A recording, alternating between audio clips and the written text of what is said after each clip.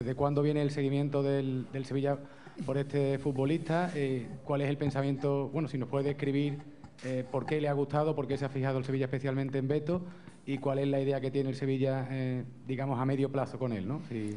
Bueno, mm, conocer a Beto lo conocemos hace mucho tiempo, ¿no? Mm, su época donde él empezó a destacar mm, en Leisoes, ya era un portero que llamaba mucho la atención, de hecho, bueno, pues fue firmado por, por el Oporto.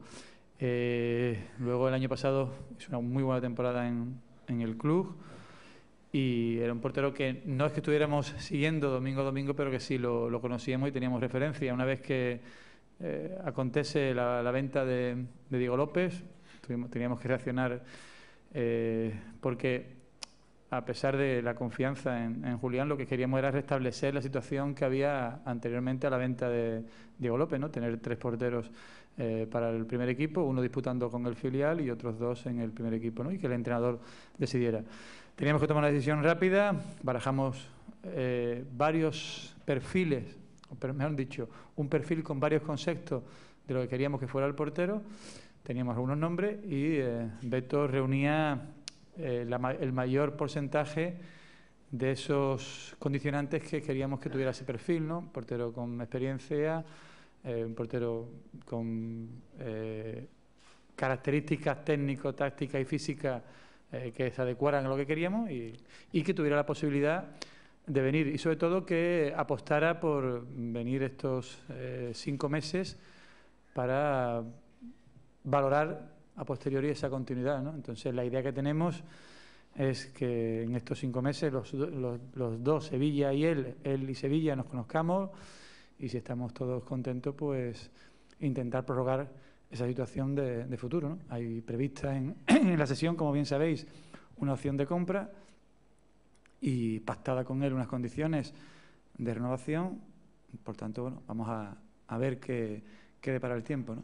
Gustaría ver si nos puedes decir cuánto es la cuantía de esa opción de compra de Beto.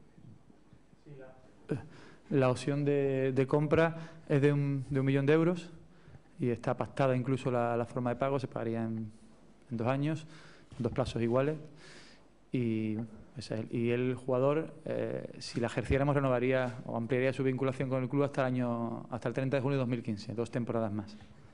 Me gustaría añadir, y con lo que ha dicho el presidente creo que sobra, pero un matiz para eh, aclarar. Nosotros, como ha dicho perfectamente el presidente, hemos recibido ofertas en los últimos tiempos, pero desde que el, AVE salió para Madrid, teníamos claro que ninguno de los componentes de esa expedición, y lo digo expresamente componentes de esa expedición, porque había algunos jugadores que se quedaron aquí, eh, estaban ya eh, en el mercado y cualquier tipo de oferta que llegara, pues teníamos claro que no íbamos a, ni siquiera, por respeto, escucharla, pero ni siquiera a negociar, y así ha sido.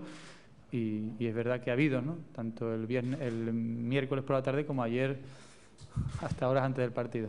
Para Monchi, una cuestión meramente deportiva. Eh, con el tiempo que lleva y con el máximo responsable deportivo que eres, eh, ¿crees que, en 15 días eh, mm, un entrenador puede armar un, equipo, yo no creo que pueda armarlo ni, ni desarmarlo, pero es, cierto que el Sevilla compite ahora o se, le ve otra otra cosa que, de no un equipo casi muerto, ¿no? por no decir muerto como estaba, en, tan poco espacio de tiempo, con cinco partidos y escasos siete, ocho entrenamientos que ha tenido Emery, ¿da tiempo a armar un equipo?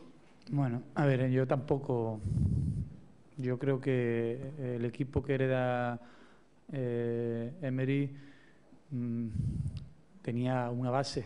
Eh, posiblemente los resultados no estaban llegando, pero tenía una base.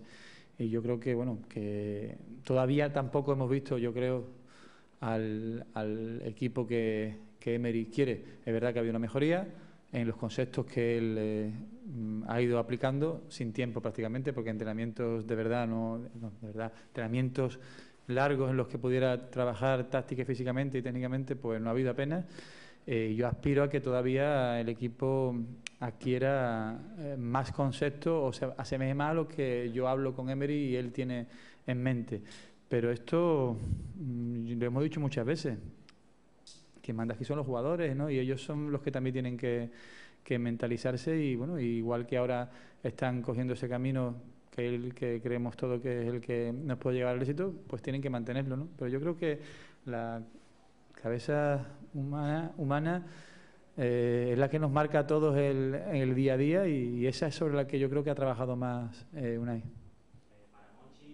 La decisión de eh, vender a Diego López al Real Madrid responde simplemente a temas económicos o también a deportivos, teniendo en cuenta que es un jugador que se fichó este verano eh, para cinco temporadas y se ha marchado meses después. A ver, cuando se toma una decisión de comprar, vender, ceder a un jugador, hay muchos eh, baremos que se utilizan para, para, No hay una condición sola económica o deportiva, porque esta es una sociedad deportiva, pero también eh, gestionamos un patrimonio económico. Por tanto, ha habido un compendio de, pensamientos o, valoraciones y hemos creído que eh, era una opción que podría ser interesante tanto para nosotros como para el jugador. No olvidemos que hay una parte también importante, y ya lo expliqué el otro día en nuestros medios, que era el Madrid, ¿no? y también el jugador sabía que existía esa posibilidad y era un tren que también a él se le pasaba y nosotros creíamos que económicamente era una buena opción y que deportivamente podíamos eh, solucionar eh, su ausencia y decidimos eh, optar por, por, venderlo. Monchi, hoy Perotti no, no ha entrenado. ¿Se sabe algo más? ¿Está en los plazos o, pasa algo? No, pero Perotti no ha entrenado porque no, todavía está baja médica. Perotti está en, está en viajó el jueves, miércoles, jueves, ¿hoy qué es? ¿Jueves? No. Miércoles. Miércoles, jueves, la semana pasada. Final de la semana pasada viajó a Argentina y está en Argentina. Pues, que no, compromiso del club y evidentemente, bueno, pues y con los médicos y para seguir un poco eh, allí también con, contrastar opiniones y, bueno, vuelve la semana que viene, pero bueno, que está todo controlado, que no es que eh, los plazos de la lesión eran muy largos, hablábamos más o menos cinco o seis semanas y por tanto, bueno, todavía estamos en la tercera semana, entonces creíamos oportuno para él también, porque bueno, son una sucesión de elecciones que también pudiera eh, coger un poco de aire y, a su país y allí también contrastar opiniones y, está allí en, en Buenos Aires desde, creo que fue a final de la semana pasada.